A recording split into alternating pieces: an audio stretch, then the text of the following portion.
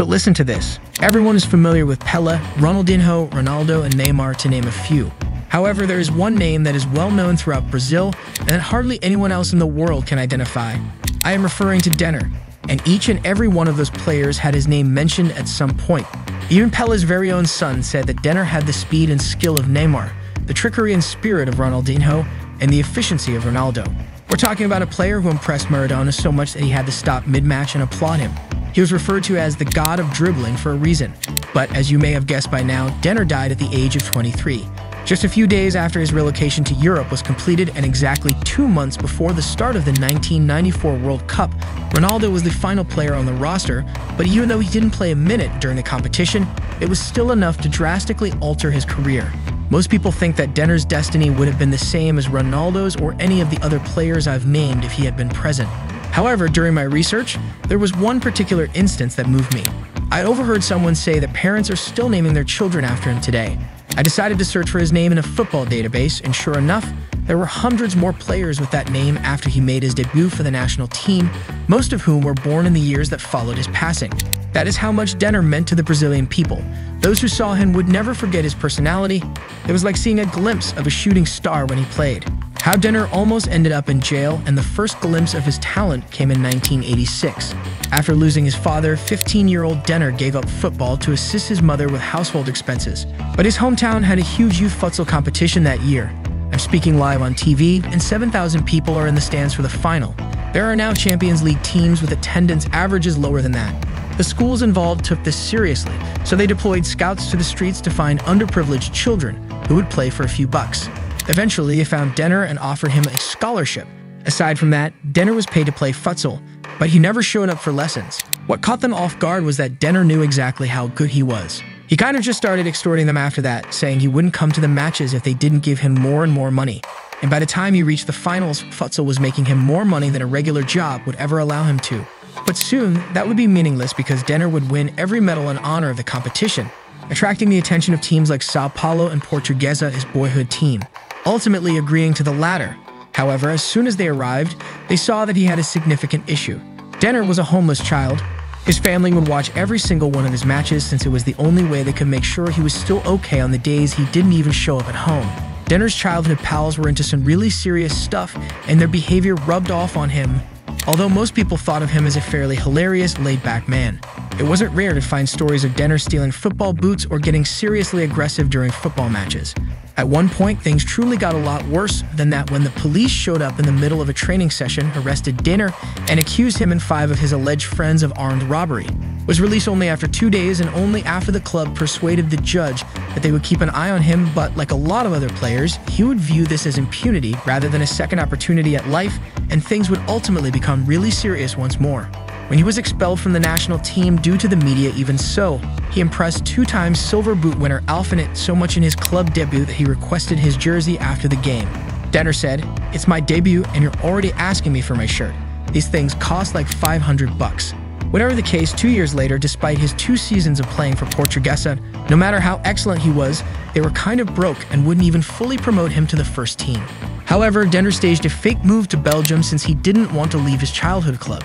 He even drove to the airport pretending to be leaving, which made the president give in and deny Dener the contract. Therefore, it was somewhat brilliant, even though it was morally dubious, and it benefited Portuguesa. In a Paulist championship game shortly after that deal was signed, Dener took off from deep, dribbled past half the team, and scored what is still regarded as the best goal in the club's history. But as soon as it happened, one of his buddies gave him a strange look and questioned, What on earth have you just done? Dener just answered, Stop acting stupid. I score goals like this every training session, in response, and after demonstrating that with numerous more memorable performances, the national team called. Dener was so eager to make his debut that he accidentally ran onto the pitch before the other player had emerged, being asked to repeat the entire procedure by the referee. But even those antics didn't deter him from his objective. Even though he was only given six minutes on the pitch, he took charge, dropped deep, and launched the counterattack that gave Brazil a point. After hurting himself while attempting to perform wheelies on his motorbike, Dener missed one of the season's most important games and the media started harassing him, which only got worse when Dener was held accountable for Brazil's under-23 team's failure to qualify for the Olympics. Even though Dener was treated unfairly, it was also evidence of his greatness because he was the main man on the squad with players like Cafu and Roberto Carlos. How Dener proved Evie Arioane wrong, don't get me wrong though, the media did, in a way, sort of make a point. He thought that if he had a game the next day, getting three hours of sleep was more than enough, as his aunt reportedly stated. However, the fact remains that Dener felt it was sufficient. There was once an occasion the day before a game against Santos when nobody could locate him. A few hours before the game, a manager turned up as if nothing had occurred, which alarmed everyone. The manager had already started preparing a new game plan to make up for his absence. It seemed as though he hadn't even arrived when he entered the match. As one of his teammates remarked, I was sure that was it. We were going to get trashed 8 0 by Santos. They were behind 2 0 at the end of the first half. But in the locker room, the manager lost it, accusing Dener of being responsible for everything and finally threatening to substitute him. However, Dener turned to face him at that very moment and said, I'm not coming off. I'm going into that pitch, and I am the one who says when that match is over. The locker room fell silent as soon as he finished speaking, and everyone sensed that something significant was going to happen.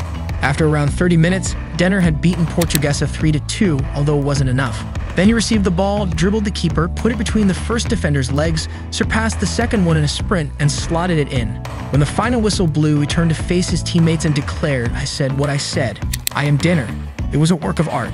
Everyone needs to know that my name is Dener. Stated differently, he desired for them to recognize him as himself. However, these kinds of achievements were insufficient to deflect attention from how Dener's bad boy character helped him become the most expensive player in Brazil.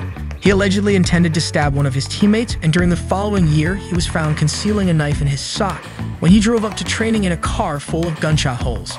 He was referred to as a brilliant vagabond by one newspaper. He had become one of the most notorious players in the nation, and despite playing the players like two-time World Cup winner Pepe, he lost his spot on the national team because of this. It was said of him that he deserves more chances. In terms of raw talent, no player ever got this close to Pelé. It was now more obvious than ever that Dener needed to get his act together, and leaving his hometown and his old acquaintances behind was the first step in that direction. He thus spoke with Grêmio, who had been hoping to sign for years but was unable to pay him, and they arranged a three-month loan. Everything went amazingly well. They even won the Gaucho Championship, but Dener's reputation grew even further, and by the time he returned to Portuguesa, they were in the same situation as well. They couldn't afford him, and his contract was about to expire. It was getting to a point where he almost earned more by himself than all of his teammates put together, the president would later say. We were becoming so desperate that I once suggested naming the stadium after him half jokingly, half seriously.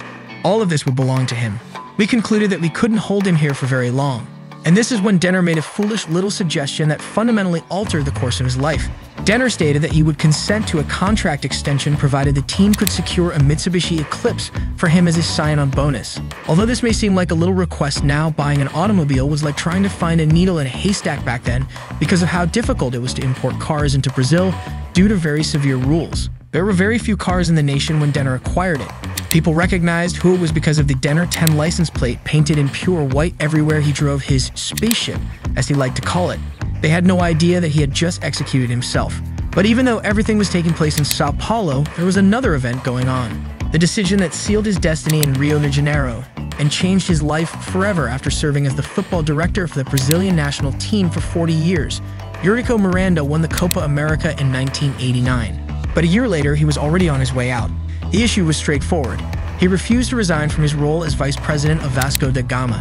Simultaneously, Atletico fired manager Jair Pereira, who had guided Brazil to two under-20 World Cups, following a minor altercation with the president. And it was at this precise moment that Eurico Miranda came up to him, attempting to sign him and asking, Jair, would you like to be champions with me? Jair answered, yeah, I'll make you a champion, in response. Dener, I just have one request to make. This is when Eurico's eyes grew wide. He was genuinely shocked. His initial recommendation was going to be to sign Dener, and as you can imagine, joining them at Vasco was the ideal option for Dener, who was eager to make amends and guarantee a spot in the 1994 World Cup. Joining one of the top teams in Brazil gave him exposure, but he was also able to distance himself from his community, improve his reputation, and grant the wishes of two powerful individuals over the national team. He was doing the right thing for once, or at least that was everyone's perception. Dener was so excited about training on the first day that he ran around the pitch as soon as Jair asked the players to start the session. He went so fast that he slipped, fell, hit his head on the ground, and passed out, much to the amusement of his new teammates. In any case, this overenthusiasm translated well onto the pitch. When Maradona was destroyed by Dener, you inquire as to how well. Let's just say that his career's most memorable game was likely his debut versus Newell's Old Boys. Maradona should have been the center of attention that day since it was his first game back following a few months of injury. But Dener had other ideas. After six minutes, Dener got the ball and moved past players 1, 2, 3, 4, and 5, narrowly missing the objective. Maradona was shaking his head in shock that early in the game, and Dener didn't stop working until he was replaced. Dener was so amazing that the next day he was featured on the cover of all the newspapers in Argentina. However, nothing was more stunning than when Maradona stormed into the Vasco squad's locker room and demanded to see the kid. Maradona desired to give him a handshake. I don't believe a greater endorsement exists than that. Dener simply kept shoving it in his friends' faces as soon as Diego departed, asking, Did Maradona ever ask to meet you? Not sure about that. When his friend Ricardo Rocha joined Newell's three years later, the myth about the little child who taught Maradona the ropes persisted even after that. It seemed particularly odd that his most memorable game would be a goalless one. The moment Diego left, Dener just kept rubbing it on his friends' faces. Did Maradona ever ask to meet you? I'm not sure about that. When his friend Ricardo Rocha joined Newell's three years later, the myth about the little child who taught Maradona the ropes persisted even after that. The irony was that his most memorable game would ultimately be a goalless one. Dener, after all, gained notoriety for stating that there are moments when the dribble is more beautiful than the goal. Nevertheless, Dener was experiencing some of his best play to date during the next several months at Vasco, to the extent that by the end, the supporters were screaming, It's Cafume, it's Cafune. Dener is a mix of Garrincha and Pele, Brazil's greatest wonder kid died too soon, but nobody knew at the time that Dener was going through one of the lowest points in his life during that time.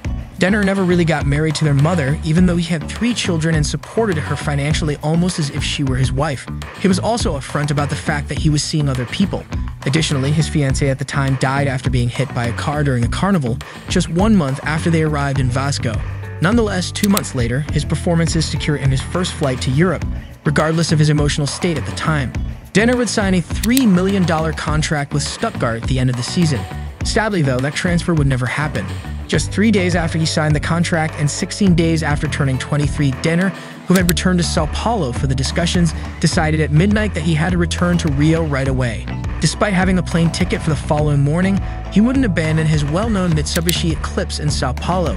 Thus, he was exhausted and had a five-hour journey ahead of him. So it didn't matter how much his family insisted they spend the night. Three months prior, Dener had made the acquaintance of Otto Miranda, an arms dealer with a criminal record, a purported drug dealer, and a close friend of Romario and Edmundo. Once more, Dener chose his buddies carefully and asked Otto to travel to Sao Paulo with him. Otto insisted repeatedly that day that they may alternate sleeping while one drives the automobile, and so it was regardless of what Dener's family said. Before departing, Dener grabbed his phone and gave a call to one of his closest pals, Edinho, who plays goalkeeping for Santos and is also Pele's son. The two had connected in a youth match some seven years prior. After Dener overcame Edinho to score, the two had a talk and went out to eat pizza, and soon after, Dener became close. However, that day, when Dener called, he seemed strange, but he kept telling Edinho how much he loved him. Even now, Edinho maintains that Dener had to be aware of what was going to happen. However, Otto fell asleep at the wheel at 5 a.m., already in Rio de Janeiro and only 20 minutes from Dener's residence, losing control of the vehicle and crashing into a tree. Otto only had two broken legs, but regrettably, they were only traveling at about 40 miles per hour.